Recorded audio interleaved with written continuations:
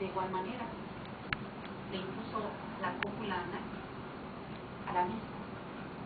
el día y hora antes referido con antelación.